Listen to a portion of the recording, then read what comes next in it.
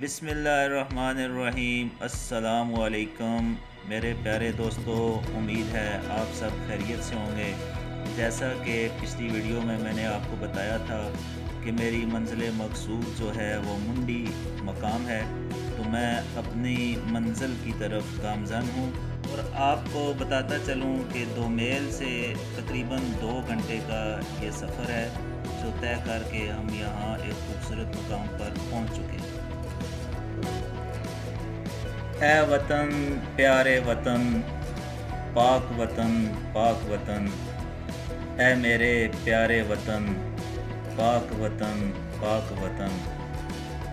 तुझसे है मेरी तमन्नाओं की दुनिया पर नूर।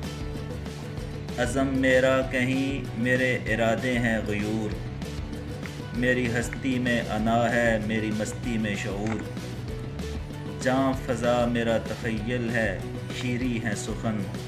ए मेरे प्यारे वतन ए मेरे पाक वतन। तू दिल अफरोज़ बहारों का तरोताज़ा चमन। तू महकते हुए फूलों का सहाना गुलशन। तू नवा रेस अनादल का बहारी मस्कन। रंगो आहंग से मामूर तेरे कोहो दामन। ए मेरे प्यारे वतन ए वतन, पाक वतन। ए मेरे प्यारे वतन।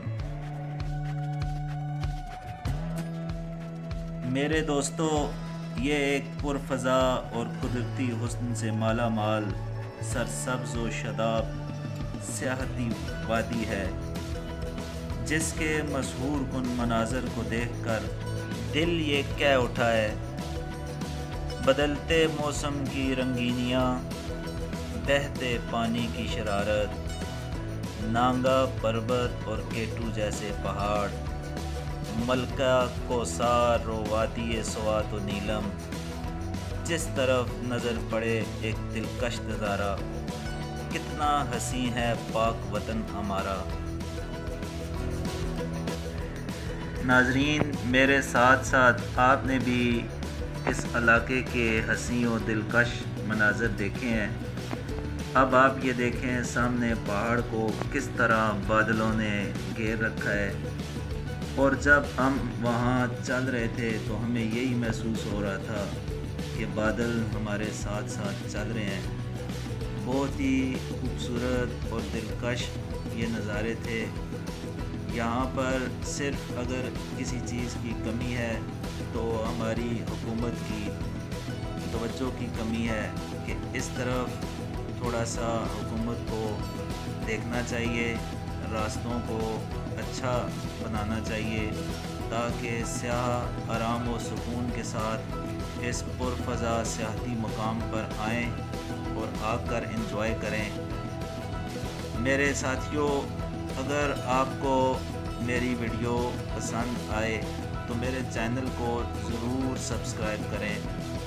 अपने दोस्तों फैमिली के साथ मेरी वीडियो को शेयर भी किया करें और कमेंट्स करना ना भूलें।